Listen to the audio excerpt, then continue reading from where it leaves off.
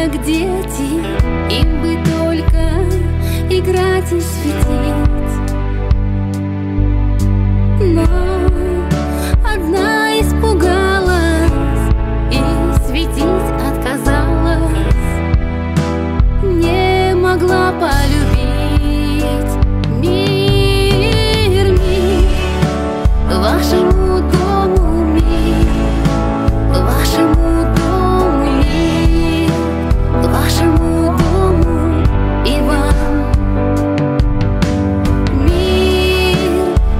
Вашему дому мир, вашему дому мир, вашему дому Иван.